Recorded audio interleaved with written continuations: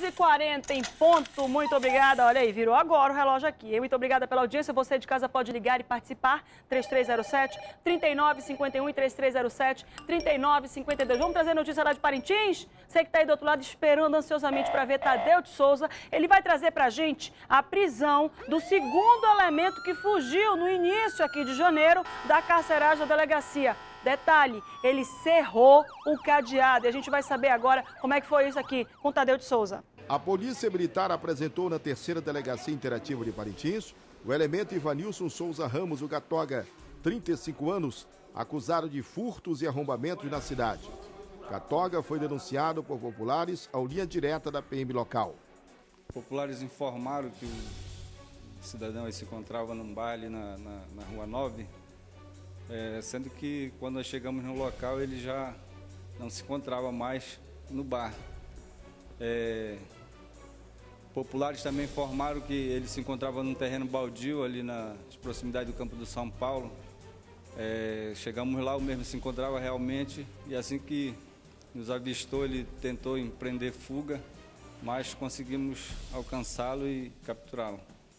Dos três que fugiram aqui da carceragem da terceira delegacia interativa de Parintins, apenas Jackson Souza, o Jacó, acusado de ter entrado na residência de um sargento da Polícia Militar, continua foragido. Só o Jacó, o Jackson, né? Vulgo Jacó. Mas brevemente ele estará na penitenciária. Eu acho bicha, Ana Denise, olha. Eu acho. Volta de novo a imagem da Ana Denise. Põe aí, meu irmão, eu sou tua fã eu sou tua admiradora. Põe a Ana Denise aí, só a última frase que ela diz, Cris. Mas brevemente ele estará, ela é calma, tranquila, né? Com essa lourice toda dela. E aí ela diz no final, só falta o Jacó. Mas brevemente ele estará na penitenciária. Põe aí pra mim, Cris, põe aí pra mim. Põe a Ana Denise aí. Só o Jacó, o Jackson, né? Vulgo Jacó. Mas brevemente ele estará na penitenciária. Eu acho bicho isso. Jacó, meu filho, se entrega logo, meu caro. Olha, eu vou te dar um conselho. Meu filho, não, Deus me perdoe. Se entrega logo, porque o teu caldo vai entornar e vai ser pior. Eu me lembro quando o Jacó foi preso, que o Jacó disse, naquela entrevista ali que ele estava ali dando ali pro, pro Tadeu de Souza, que foi o Tadeu de Souza que trouxe pra gente, armaram pra mim. Eu não sabia que a casa era de um policial militar. Meu irmão, sendo do policial militar ou não sendo, não tem que entrar para roubar, meu caboclo não tem que entrar. Tu deu azar, isso acontece, tá? É por isso que é melhor tu andar na linha. Porque vai. Aí esse aqui é o Jacó. Jacó que aparece na imagem, entrando na casa do policial militar, né? E aí você, você, você viu ali, a gente mostrou na imagem o Jacó entrando lá na casa do policial militar sem saber que era do policial militar. E nessa entrevista aí foi bom, o Cristiano Loureiro encheu a tela, já ia pedir isso. Aparece aqui o rosto do Jacó bem claro, para você que mora aí na cidade, aí na ilha, tá vendo o Jacó escondido, não sabe, está sabendo onde é que o Jacó tá, tá indignado porque ele é ladrão, infelizmente ele rouba, ele entra na casa dos outros e pega as coisas dos outros, não quer trabalhar, não quer ganhar suas coisas e comprar suas coisas é, dignamente, quer pegar as coisas dos outros, tá aí o Jacó. Entrega ele para a polícia, lá para Denise, que ele vai brevemente estar na penitenciária.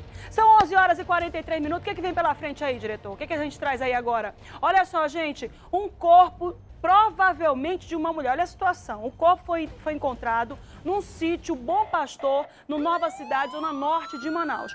O caseiro do sítio, acostumado ali a limpar o local, a fazer uma reviravolta ali pelo local, dar uma olhada ali, acabou vendo o corpo que já estava em avançado estado de decomposição e boiando. Agora você imagina, né? De acordo com o delegado Clodomir Vitor Sobrinho, do 15º Distrito Integrado de Polícia, ainda não há suspeitos da morte, mas como o corpo já estava ali havia algum tempo, provavelmente ali os bichos devem ter comido um pouco, ficou difícil de se identificar o sexo do corpo. Prestem atenção só. Tá? Ele foi recolhido, deve estar agora no IML, esperando pela sua identificação. Tá aí a notícia que a gente traz para você, que foi destaque também hoje no Agora Impresso. Viu? Você comprou Agora Impresso, também viu isso aí, que foi destaque no nosso Agora Impresso, edição de número 999, que a gente trouxe hoje no início do programa. 11h44, olha só, minha gente. Ronaldo Lima da Silva, 19 anos. Patrícia Silveira de Souza, 24 anos. Os dois presos e uma menor apreendida na noite dessa segunda-feira com mais de 4 quilos de drogas. E não era droga fraca não, viu, minha gente? Era droga forte, droga pesada. Cocaína, pasta base de cocaína, maconha e ox. A prisão e as apreensões, segundo informação da polícia, aconteceram na rua Leonardo Malcher, no Prosamin do Mestre Chico. Além da droga, com eles também foram encontrados quatro anéis, joias, viu? Quatro anéis, provavelmente de ouro, três cordões também supostamente de ouro e ainda quatro celulares Samsung de cor branca. Ainda foram apreendidos aí materiais para embalo da droga e a quantia de R$ 1.280 em espécie. Ronaldo e Patrícia foram levados ao primeiro distrito integrado de polícia para as providências legais, atuação do flagrante. E a menor, que também foi apreendida com eles, está aqui a menina, né, de costa aí. Eu quero saber cadê os pais da menina para dar conta das ações da menina. Foi levada para a delegacia de atos infracionais, a delegacia do menor. A gente traz aí mais uma vez a quantidade de mulher que tem sido presa. Presta atenção vocês aqui, ó. Mulherada toda presa, que já foi 2 a 1 um para a mulher. Infelizmente, o homem perdeu por um.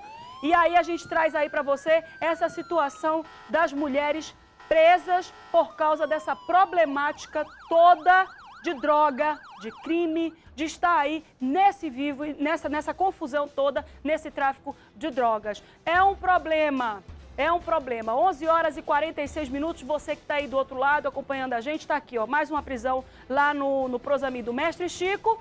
E a gente traz para você essa prisão e avisando, a polícia está trabalhando. Enquanto eu estou aqui apresentando o programa, olha aqui, ó, a polícia está no encalço da bandidagem.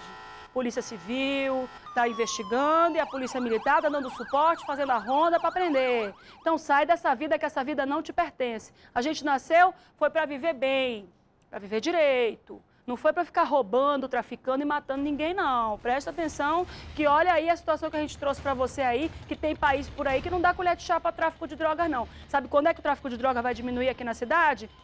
Quando aqui no Brasil também a pena para tráfico de drogas for rigorosa. Aí sim é que a coisa vai mudar. 11h47, o diretor está me dizendo aqui que acabou de chegar as fotos de Pauini. Coloca na tela aqui para mim, por favor. Olha só, a gente recebeu a ligação do Sebastião, que ligou participando com a gente aqui do programa da comunidade, trazendo a situação de Pauini. Presta atenção nas ruas de Pauini. Olha só, água empoçada para tudo quanto é lado, pessoal andando aí, uma falta de infraestrutura. Olha isso, Ivan Nascimento.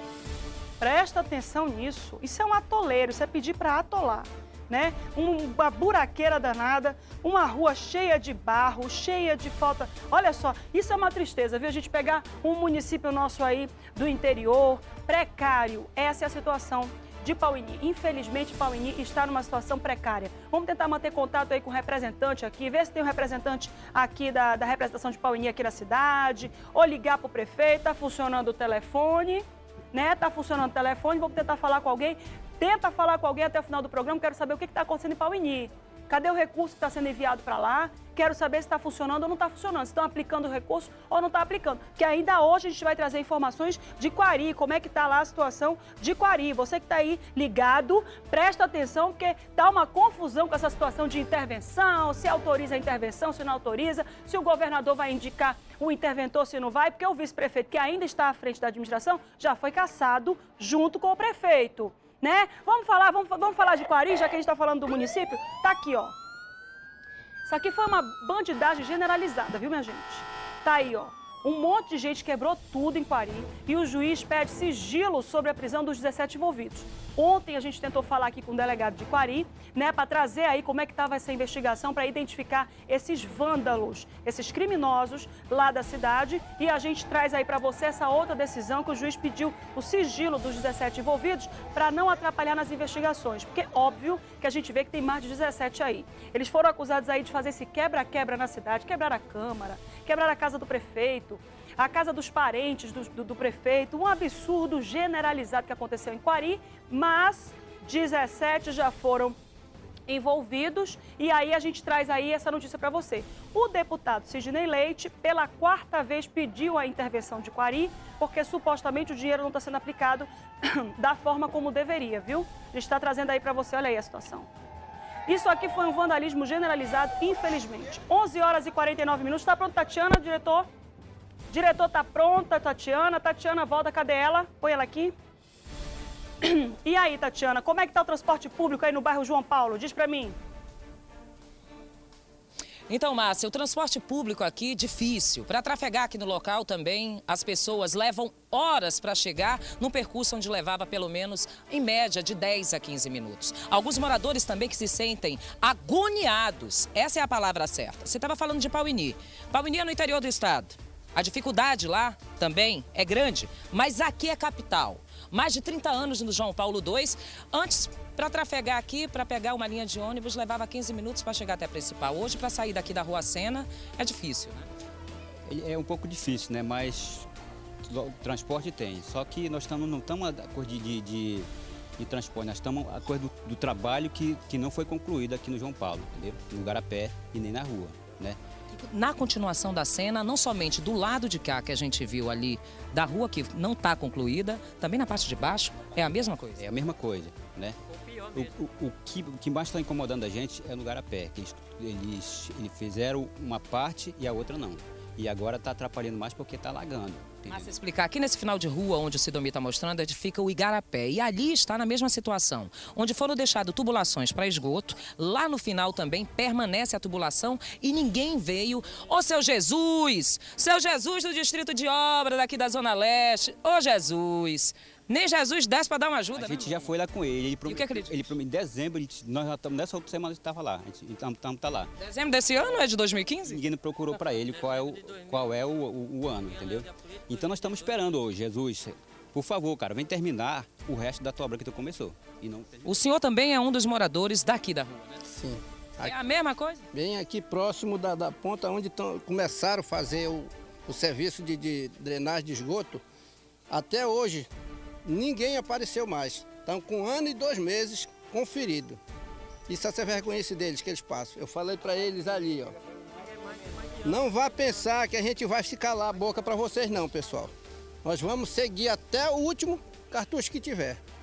Poder Esse serviço que não foi concluído aqui na rua. A prefeitura começou um trabalho ano passado, depois da Copa, de infraestrutura e repaginação também da Zona Norte e Leste com recapeamento. Por aqui, esse momento ainda não chegou. Se chegou, parou no mês de dezembro, né? Eles vieram novembro, dezembro, aí parece que capengou, deixaram a coisa pelo meio do caminho, mas Márcia, não somente o problema das obras que não foram concluídas, mas a gente percebe também que há mais de 10 anos não passa recapeamento também por aqui, por essa rua. Não somente essa, as outras ruas também aqui do bairro. A reclamação e a denúncia sempre está aqui ao vivo no programa da comunidade. Se você quiser entrar em contato conosco, o telefone está na tela, basta você ligar, que a equipe do programa agora vai ao vivo até você, você que é o nosso telespectador. A linha aí, ó, anota. Márcia, eu vou ficando por aqui. Agradeço a participação de todos, a compreensão, a todos aqui do João Paulo II. E eu sempre digo: se a comunidade chamou, o agora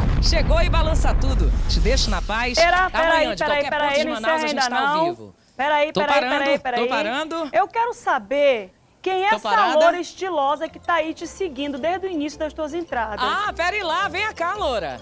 Venha cá. A Loura Estilosa? É. Deixa eu te contar, Márcia. Ah, A Loura Estilosa, o pessoal da Fundação da Rede Amazônica, que tem estagiários aí, né? Elas estão fazendo uma matéria especial comigo. Oi, Loura Estilosa. Loura Estilosa, eu gostei, tudo bem? tudo Olha bem. Como é que é o nome dela, Tatiana? Gostou do cabelo? Teu nome? Ellen. Ela ensina. Ellen é produtora e está com uma equipe, coordenando uma equipe e está fazendo o making off do nosso programa. Sim? Olha que legal. Sim. E cadê a equipe? Tá aí Sim. a equipe? Primeira vez ao vivo? Primeira vez ao vivo. Tá aqui. Larga o microfone, A que é equipe tá trabalho aqui. de pegar o microfone da Tatiana. Vai aí, Tatiana. Pegar É. aqui, ó. Pegar, aí, eu vou. tá Aqui a equipe. Tá beleza. É a sua equipe, né? Você faz cinegrafia? Sim, É a primeira vez? Primeira vez. Tá nervoso? Tô mesmo. Tá ligada essa câmera? Esconde o emblema. Tá aqui o outro, tá aqui o outro. Tá e bom, você é tá- assistente ou cinegrafista? A gente estamos, somos estudantes ainda, Ainda? Mas de quê? de cinegrafia. Mano, sai dessa vida. Não, não, a gente tem que. Estamos galgando uma coisa melhor. E olha um detalhe: o desafio dessa escola, que é a fundação, de onde muitos já saíram, o repórter que vai fazer a entrevista conosco, ele tem uma deficiência, que é a deficiência visual. Mas ele está aqui, ele não pode falar conosco, ele está dentro do carro, não teve como se locomover. Mas, Márcia, isso são os bastidores de quem faz a informação, o programa de comunidade, para qualquer lugar onde esteja. O repórter, balança aí, cinematográfico com imagens de Sidomir Matos. Apoio do seu Paulo. Seu Paulo! Tá. Tudo bom. É o seu Paulo Seu que ajuda a gente. coitado, São Paulo é um sofrer da sofrência. Põe a música da Paulo é sofrência agora, aí, sofrência. pelo amor de Deus.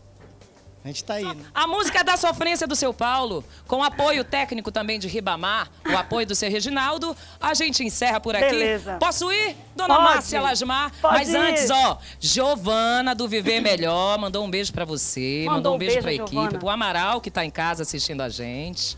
E mandou um Ok. abraço gigante pra toda a equipe do programa agora. Ô, diretor, um abraço também pra Giovana, viu? Tchau, Márcia.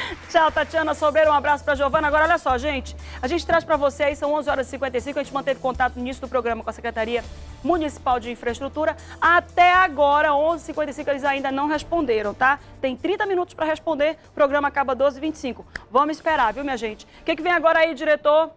3307-3951. A gente vai lá para a Cidade de Deus falar com o telespectador do programa da comunidade. Tá bom aqui a um para falar aqui na um? Vamos lá, você que está aí do outro lado. Alô? Bom dia, Bom dia, como é seu nome? meu nome é Reinaldo. É o seguinte, Abaixa o volume do seu televisor rapidinho e repete teu nome para mim. meu nome é Reinaldo. Reinaldo, o que que tu manda, Reinaldo? O que que tá acontecendo aí na cidade, aí no, teu- no teu bairro? É sobre o transporte coletivo, que a gente vai lá para a estação do 676, né, pegar o ônibus. Aí eles prendem o ônibus lá, a gente passa lá mais de uma hora. Esperando, aí eles só liberam o ônibus se tiver muita gente para pegar, entendeu? Se tiver três pessoas, quatro passageiros, eles não liberam, não.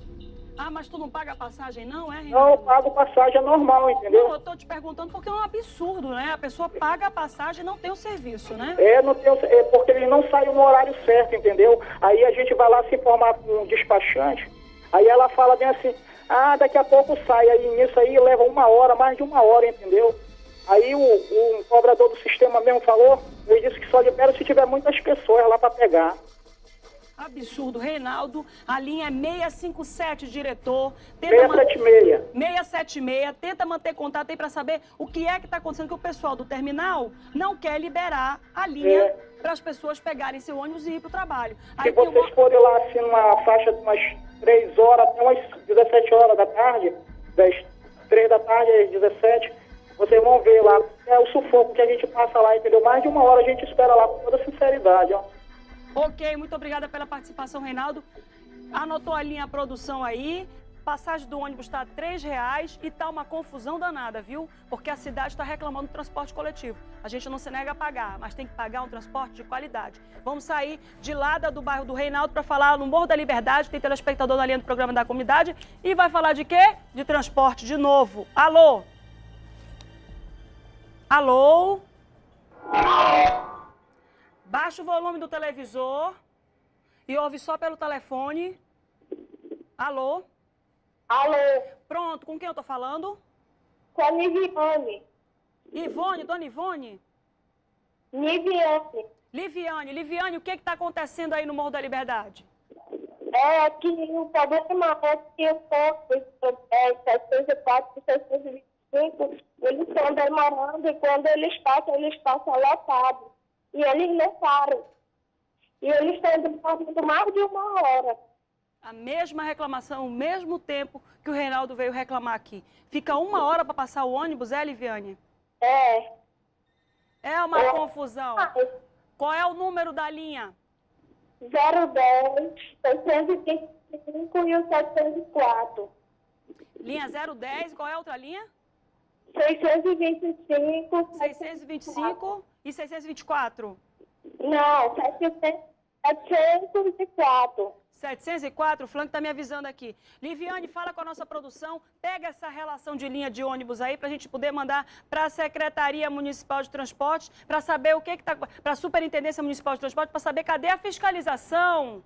Cadê a fiscalização? Tem que ir aí para esses pontos, para esses terminais de ônibus, fazer a fiscalização e saber por que, que não está saindo. A hora é um absurdo. A gente sai do Morro da Liberdade. Liviane está falando com a produção, hein? Produção, anota tudo direitinho aí, hein? Reclamação de transporte público. A passagem está a R$ reais desde domingo. E a gente vai lá para o Monte Sião, porque aqui o, o, o telespectador tem vez, tem voz. Pode ligar que a gente coloca no ar. Alô?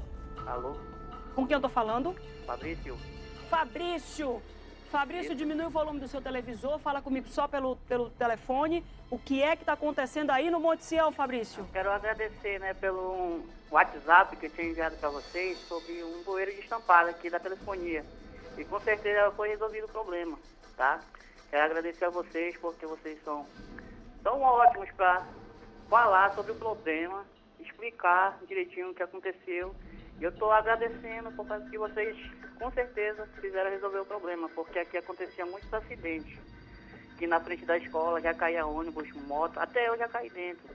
Então eu estou ligando para agradecer a vocês, porque já foi resolvido o problema. E ficava aqui na Grande Circular com a Rua 8. Eu estou agradecendo, tá bom? Obrigada, Fabrício. Quem agradece o contato somos nós. Nós só viabilizamos. Quem resolve é o poder público, né? Mas a gente está aqui para fazer com que a sua reclamação, a reclamação da Liviane, a reclamação da Iracema, a reclamação do Sebastião, lá do Pauini, cheguem até as autoridades, para que as autoridades resolvam. Mas o nosso trabalho é esse. Precisa agradecer não, mas mesmo assim, muito obrigada pela lembrança e muito obrigada por sempre manter contato com a gente. É assim, o telespectador da linha do programa da comunidade fala com a gente, o telespectador que está em casa, liga, dá o seu recado, faz a sua denúncia e tá aqui mantendo contato direto pra gente. É por isso que eu gosto de, de vez em quando, né, a gente arrumar um pretexto para dar uma premiação pro pessoal que tá em casa. E o pretexto é esse, que olha só, meu povo, ele tá vindo aí. É o primeiro do ano, não é?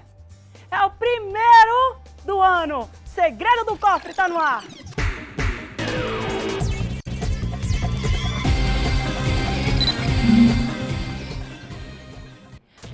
20 de janeiro e tá aqui o nosso cofre aqui, bonzinho, olha, gente. Todo bonitinho, aqui dentro tem um tablet com oferecimento da Bruno Celular, tá aqui, ó.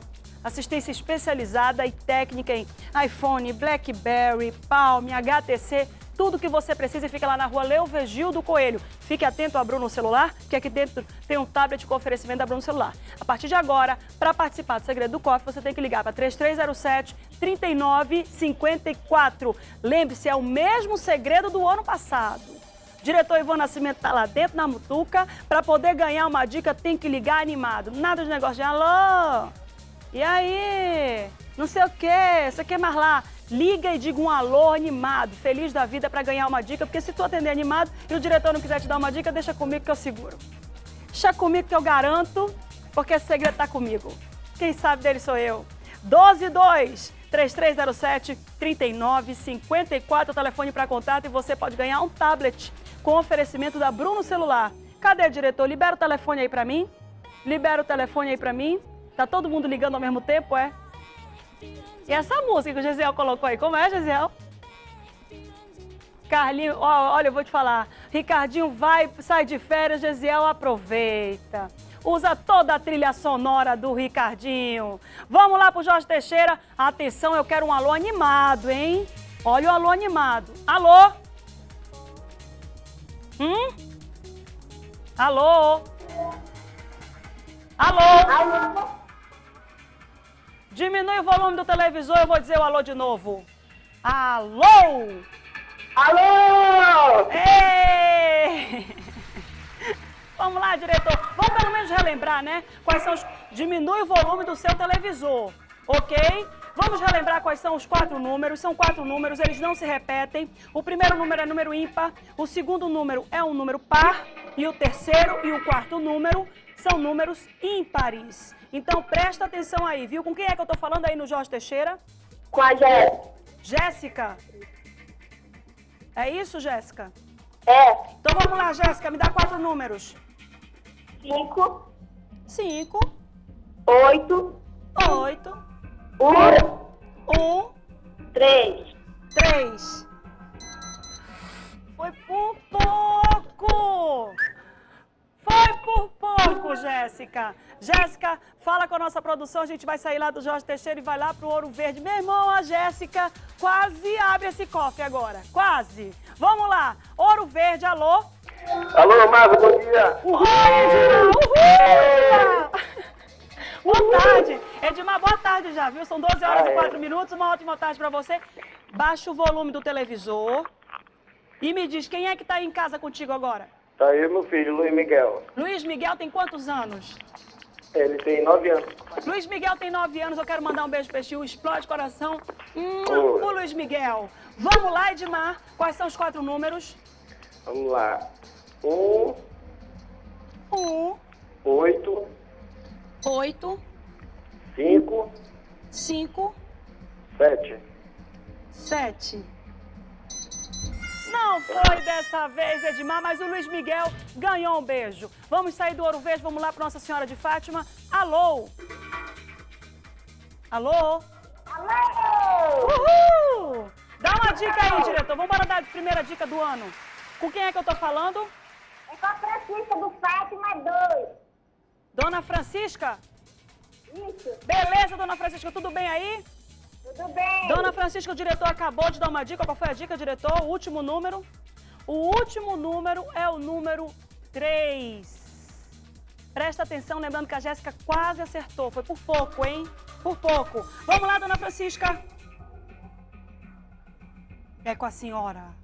Cinco, Cinco. Cinco.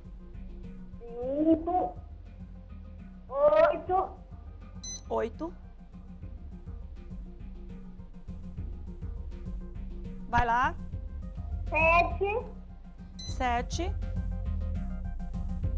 três. E três, o último número que o diretor deu a dica.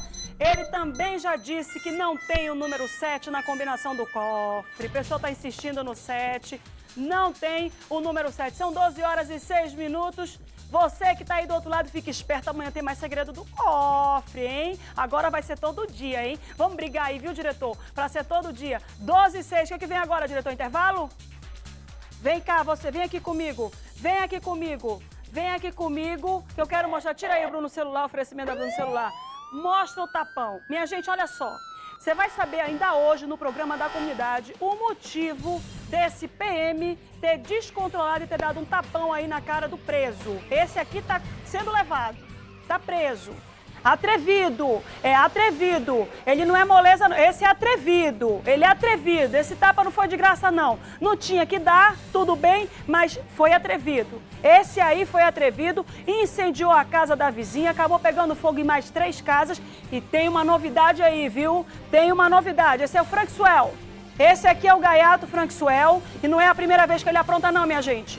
Não é a primeira vez, não. São 12 horas, e- 12 horas e 7 minutinhos. Você que está aí do outro lado, fique esperto, fique atento, porque ainda hoje você vai saber por que, que o Frank Swell pegou um tapão e por que, que ele estava sendo levado. Estava sendo levado porque incendiou a casa, que acabou tocando fogo em mais duas casas, mas não foi só por isso, não. Tinha um mandado de prisão para o Maxwell. Tinha um mandado de prisão para o Maxwell de um crime que ele cometeu no ano passado. A gente vai trazer para você ainda hoje essas informações. Mas antes disso, vamos mudar de assunto.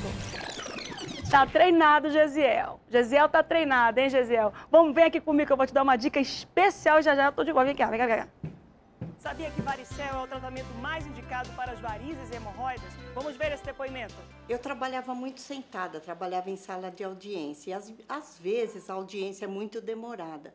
Como eu sofria de varizes, eu sentia muitas dores nas pernas. Na hora de levantar era aquele peso. Eu tinha visto a propaganda do, do varicel na TV. Resolvi tomar. E não é que melhorou mesmo? Eh, As dores sanaram, voltei à minha atividade normal e hoje sou outra pessoa. Viu só? Varicel funciona mesmo. Varicel comprimidos associado ao varicel gel melhora a circulação, acabando com as dores, sensação de peso, cansaço, inchaço nas pernas provocados pelas varizes. Varicel comprimidos também combate as dores, inflamações e desconfortos causados pelas hemorroidas. Varicel você encontra em todas as farmácias do Brasil e a preços promocionais nas redes de farmácias Angélica e Farmabem. Eu disse Angélica e Farmabem. Varicel tem a garantia de qualidade de Vicom Pharma. Não aceite outro. 12 horas e 9 minutinhos, você que está aí do outro lado fica esperto, a gente vai para um rápido intervalo. Vou só ali beber uma água e você vai dar uma olhadinha no feijão que está no fogo. A gente volta já já.